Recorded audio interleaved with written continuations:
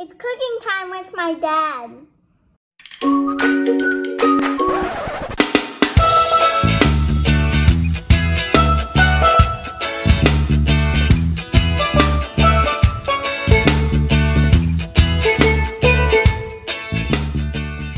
One of the tricks with this dish is you're going to want to really cook the chicken.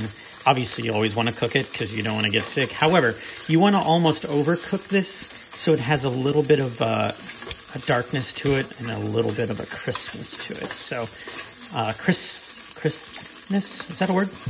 We're going to say it's a word.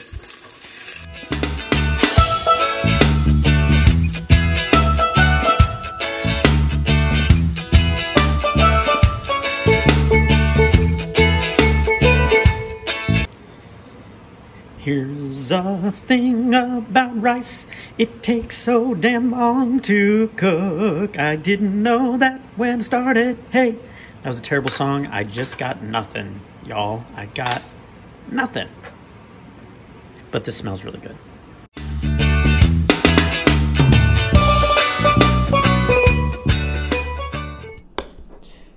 So I've never had this kind of food before, and I've never made it. So this was an experience, and I think I did okay actually.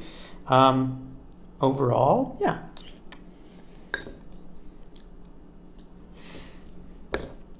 I have to say the taste is great.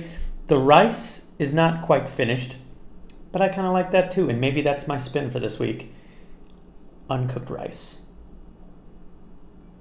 You should probably cook the rice. Anyway, it's pretty good.